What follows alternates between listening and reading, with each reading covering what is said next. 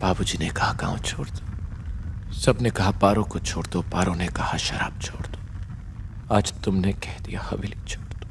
एक दिन आएगा जब वो कहेगा हम्म, दुनिया ही छोड़ दो।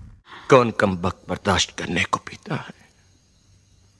हम तो पीते हैं कि यहाँ पर बैठ सकें।